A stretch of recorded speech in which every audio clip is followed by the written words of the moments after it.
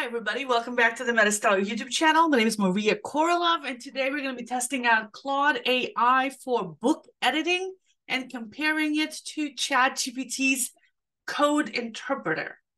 So, get my, my microphone here. Okay, got my files. All right, so uh, Claude AI came out um, today from Anthropic. Anthropic uh, is a company with 1.5 billion dollars worth of investment, a few hundred million of it from Google. It's a competitor to OpenAI's ChatGPT. Um, it prides itself on being a constitutional AI, so it has better ethics and morals. Um, the company does not use your prompts for training data by default. So if you upload a bunch of text to Claude, it will not use it for training data and um, it can take uh, files of up to 100,000 tokens, which is 75,000 words in length. Um, but uh, ChatGPT also has a way to upload big files. It's called called Code Interpreter, and I just got access to it this week as well, and I have tried them both out. So um, everybody already probably has uh, ChatGPT. If you're watching this, um, for Claude AI, I'm going to show you what the login screen looks like. Okay, so here it is. You go to claude.ai. This gives you an Anthropic website. You have this, uh, you can sign in with your email address or you can continue with Google. I signed in with Google. It took me a few seconds and I was in. It's free. And so far, I haven't been able to hit the free usage limits. I've uploaded a couple of books and asked a whole bunch of questions. I assume there will be limits. It says there are some limits with a free plan, but I don't know what they are yet. It's also only available in the United States and the UK. So now let's go through and um, I'm going to show you what you can do with Code Interpreter. And then I'm going to show you what you can do with Claude AI. All right, so let's share our screen again. And here we go. So this is um, the code interpreter from ChatGPT. So um, the way it works is you have this, uh, your name with uh, the three dots there. You go to settings, you go to beta features, and you turn on code interpreter. All right. So that's how you get it. And then there's um once you're in a code interpreter, see the send a message button, the little plus here. That's where you can upload a file. All right. So I uploaded a text file, uh, my first novel, Crim Times. Um, and I asked it to summarize this book. And it said it's a novella, part of the Crim World series. This is stuff from the Amazon description of it. Um, it couldn't actually summarize the whole book itself. So it said that it can identify a general sense of the book's content based on the text in it, and then identified basically a list of common words in the book. And so the analysis it gave me is that it looks like the book uh, revolves around these two characters and they interact with these three other characters and the world where grid pops up a lot. So totally useless. So then i said all right please create a list of all the named in names in the book. Um so when i went back and forth with it I, I mean it took me a few tries to get to this point when i figured out what a named entity was so it couldn't give me a list of all the characters in the book, but basically it could give me a list of the capitalized words. So it started running a Python library to tra- to do natural language analysis. It failed. It tried different different approaches, apologized for the errors, and finally it gave me a list of capitalized words. Words like like Bill, okay, that is a name but zoning groups thanks something i mean random words that were capitalized in this book gave me a list of a few hundred of these common capitalized words. Then it did a little bit of frequency analysis for me. And um, I asked it for a description of each character. And the best it could do was pull out individual sentences that had the name of the character in it, but it couldn't really pick out the ones that have a description in it. Like here, for example, it says, I'll have the day special, uh, Trask said, or we are, we are, Trask said. So um, it made some conclusions about this, but it's it's very general kind of inferences that are not very useful at all. Um, so then, I, just out of curiosity, I asked it to do a word frequency analysis of the book, excluding the words the and and. Um, and it gave me a list of uh, words that included things like abbreviation like LL. Um, and so I had it, it, it did this uh, chart. I asked it to redo it without using the words like VE and M and RE and did didn't without the T at the end. So like weird abbreviations. Um, so I asked it to fix that. It went back and it refixed it and redid the analysis. It gave me a little word cloud. I asked it to make brighter colors and it gave me brighter colors. So the bottom line here is that it can do statistical analysis. Um, so you can see how often a particular word is used in the book that's pretty limited. It's it's so limited as to be almost useless. Um, I've asked it to give a chapter by chapter summary, and it says, I'm sorry for any confusion, but it's an AI language model. I don't have the ability to read and understand books like a human can. All right. So, um, pretty useless. Basically, if you want to use ChatGPT right now to summarize books, you're going to have to upload like a scene or a chapter uh, at a time, and they have to be pretty short to stay within ChatGPT's uh, window, which is pretty small. And now let us go on to Claude. So for Claude, um, you go to claude.ai, um, you log in. Um, like I said earlier, I logged in with um, with Google. Then you can start a new chat, or you can go back to a previous chat. Um, or you can search past chats, which is fantastic. Google, I mean, ChatGPT does not currently have a way to search past chats. So I love that. Um, so it gave me some ideas for what to do. Um, but basically, let me talk you through what I've done so far. Um, so, for example, um, I uploaded um, the book Crim, and here you upload it by clicking this little um, paperclip button.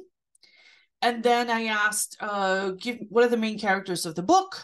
Uploaded um, the text, and then gave me the character name. And look, the description and what he does. The character name, the description, and what he does. The character's name, a description, and what she does uh, character's name, um, description, and what he's doing there. So this is super, super useful. If you, like me, uh, write like these long books and forget how you spell the characters, where they work, uh, what they look like, maybe it's just me, but um, this could be super useful for you. Or if you are an editor analyzing somebody else's book, this is a great place to start. And also, while it was added, it gave me a list of the key events in the book. Uh, so I asked it, what's the single best thing I can do to make this book more readable? And it gave me a, a you know some generic advice. Um, it also said increase clarity, which kind of caught my attention. And so I asked, what section needs the most help with clarity? And it, it identified a section, chapter five, where there's a fire and it gave me some suggestions for things that could use some explanation.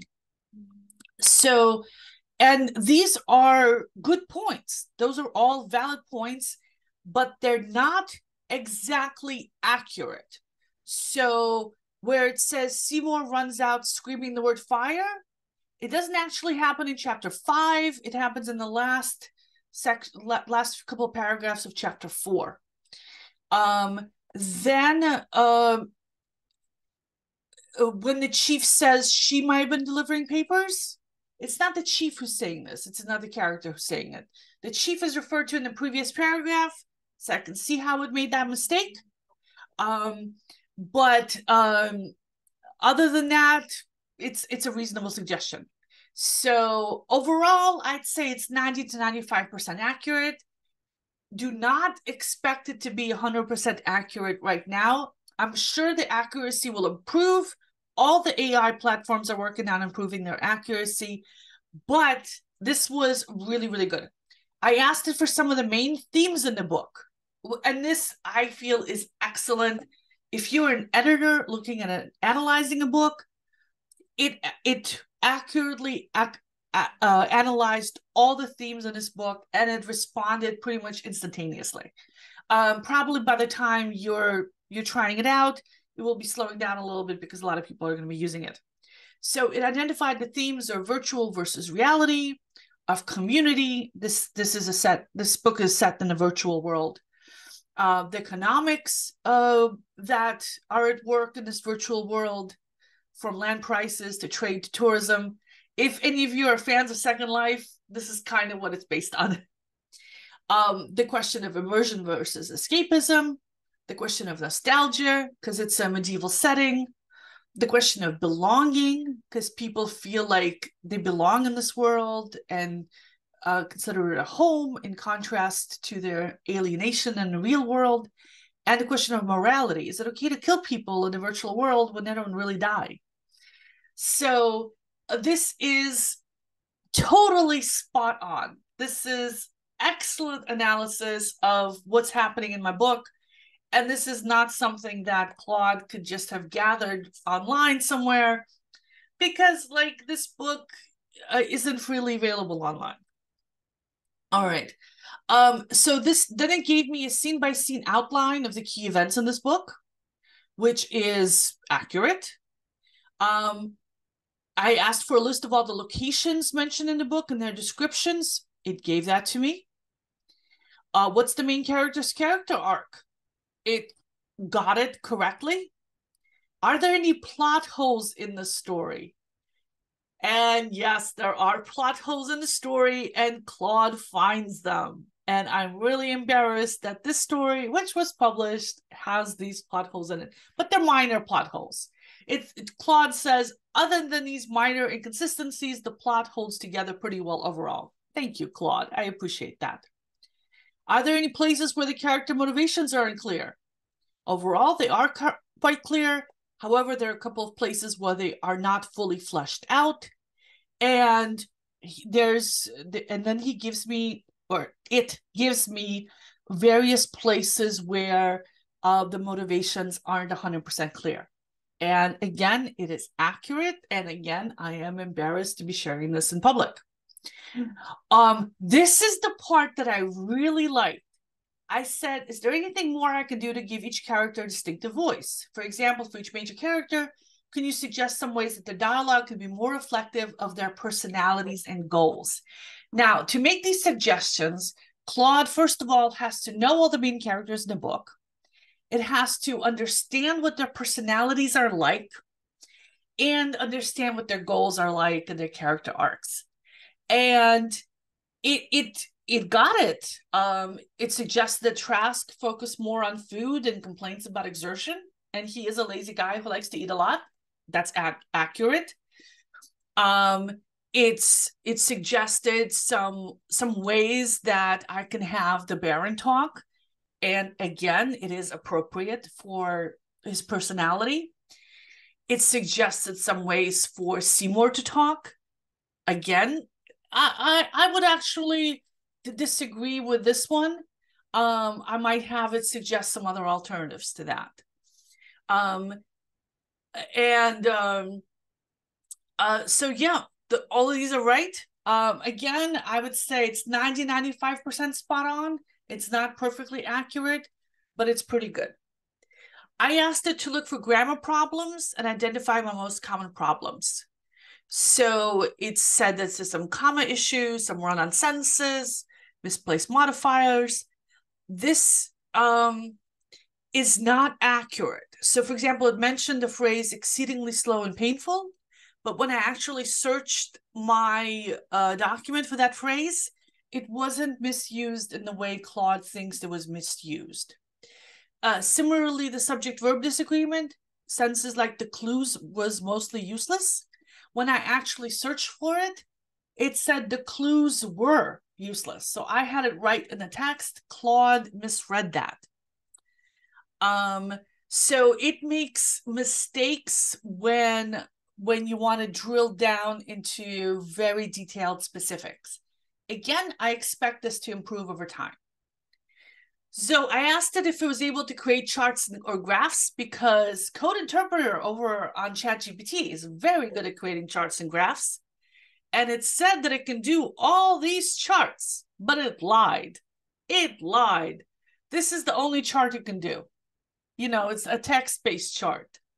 When I asked it to make it a colorful, prettier back pie chart, it wrote a description of the chart it would have generated if it could have generated bar charts. And I said, I don't see the chart. and it said, I cannot actually send graphical charts or images through this chat. All right, well, maybe it's coming. And I asked for a text chart showing the rise and fall of tension chapter by chapter in the book. And it did that, and it's pretty good. And it gave me an explanation of why why I graphed it that way. So overall, in terms of its overall understanding of the story, it was excellent. It was, I mean, I am totally in awe of what it did.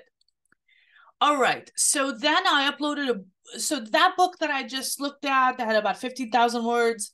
This one that I uploaded here in another chat was around 60,000 words. It can go up to approximately 75,000 words I tested it out. I tried uploading an 84,000 word book and it didn't go. So this one's 60,000 words. Um, it and I asked it for a list of all the characters in the book. Uh, so first of all, it did get all 48 chapters because it was able to read the last line. So um, it got all the all 60,000 words. It was fully processed and understood. I made asked it for a list of characters in the book. It gave me a long list of characters for this book. Now, the previous book that I uploaded had been published on Amazon. And Claude is trained as of end of 2022, beginning of this year. So it could theoretically have scraped that book off of Amazon and been trained on it. This book here that I uploaded has not been published. So it's a book that exists on my computer. So um, the information that it pulled, I'm reasonably certain it pulled from this book. Well, I've got some descriptions of it online and some sample chapters, but odds are that it it got it from the upload. Um, uh, especially because online, I don't think you can get it like in one place. It's like scattered all over the place. So I asked it for a scene by scene outline. Uh, it gave me uh well, my chapters are short, but it gave me a list of everything that happens in every chapter. If I wanted to, I could have it expand on on a particular chapter.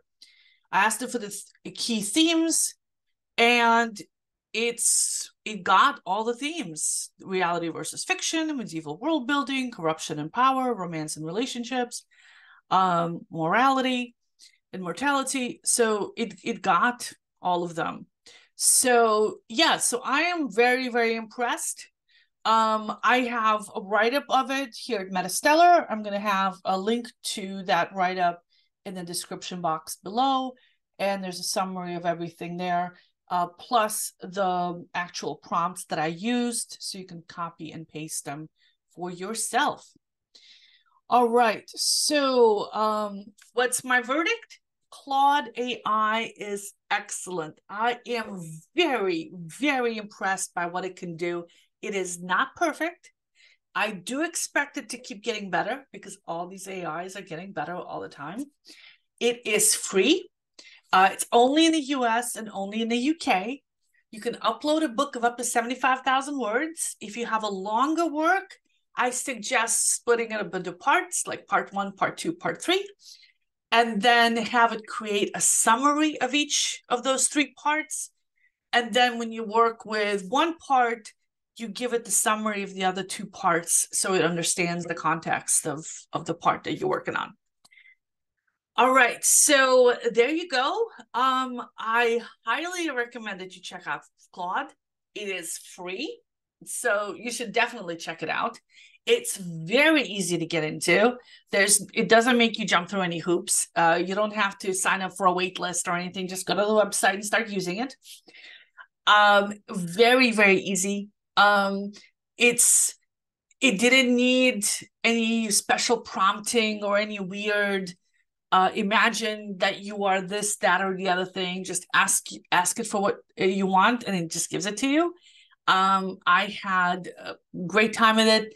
If you want to um, kind of experiment with slightly like better prompt, advanced prompts, you can provide some context. For example, you can say something like, uh, you're an experienced editor working with a major publisher for 20 years, and you're really good at editing manuscripts for best-selling authors and identifying the problems, blah, blah, blah. Uh, I didn't have to do any of that with this one. Uh, with these prompts that I tested out today, it seemed to do a perfectly fine job without any of that kind of context setting. Um, but in general, it seems to help once it made a very obvious mistake, I had to test some grammar senses. So I gave it some senses and said, see if you can spot the grammatical error. And in one case, it missed it. Usually it was good. It was like 90, 95% again, again accuracy with grammar. But in one case, it got the grammar uh, wrong. And I said, Are you sure? And it looked at it again and said, I'm sorry. I missed a grammatical mistake. Here's what the sentence should say. And it was right. Um, so uh, that's one thing that you might want to do. If you're asked it to review for grammar, you can say, look at it again and see if there's anything you missed. Um, or, and that goes for any question that you ask it. Um, in general, the a best practice with AI these days is to provide some context. This is the role you're playing. You're an experienced editor. Um, this is a work of genre fiction, and my goal with the writing is to make it re- as readable as possible, or my goal is to win a lot of awards. You know, to give it some kind of context of what space you're working in. Um, then um, uh, give it examples of answers if you happen to have examples lying on around. I didn't have any examples to give it; it worked just fine. But if you wanted to give you something very specific, for example, if you wanted to generate Midjourney prompts, you might give it some examples of past Midjourney prompts. If you wanted to generate marketing blurbs for your book, you might want to give us some examples of the kind of marketing blurbs that you want to see. If you wanted to generate some social media uh, posts based on a book, you might give it examples of some social media posts that you like. So that kind of thing. Um, and then finally, uh, uh, there's something called tree of thought reasoning. This is where you ask it to give you a few alternatives. So, say, for example, you're stuck on what a character needs to do next in the context of this book. Uh, you can ask this with, with ChatGPT. ChatGPT is good at it. But with ChatGPT, you can't just upload the whole book, right? So with Claude, you can say, here's the first five chapters of my book. Um, and uh, you got it. Okay, now here's where I want the character to go. But I'm stuck in what's going to happen in chapter six.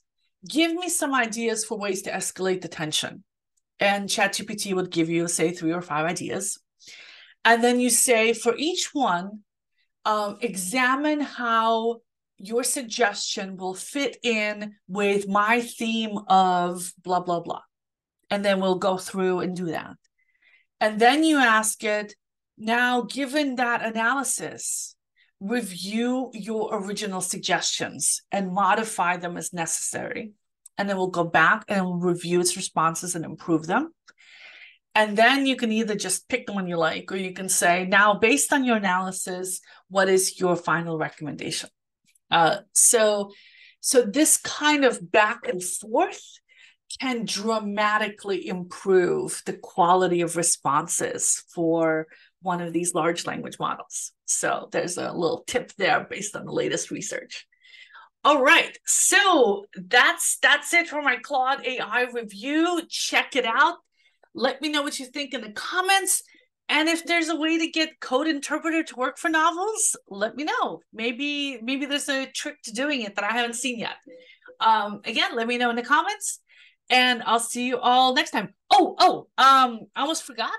Uh, we do a free Friday every Friday. We read the first couple chapters of the top free science fiction fantasy books on Amazon, and we tell you what we th- what we think about it. So if you like that kind of stuff, subscribe to my channel and um, check back on Fridays for those videos and those articles. We also have a newsletter that you can sign up for, all sorts of good stuff. And um, we're a magazine that publishes free science fiction and fantasy and horror. So if you like reading free science fiction and fantasy, check it out. Um, we're always open to reprint submissions, and our original submission cycle is in October, and in March we pay eight cents a word for new and original fiction. For reprints, the story has to have been published somewhere else first, but it could it could be another magazine, it could be a newsletter, it could be on your own website. We don't pay for reprints, um, but uh, the odds of getting published are much higher. And our reprints are eligible to be included in our annual anthologies. We're currently working on the second one. I just got the proof copy for it last week, and we're currently making uh, final fixes, and that should be published later on this month. All right, so that's it for the administrative stuff. Hope I didn't miss anything. I'll see you all guys on Friday. Bye bye.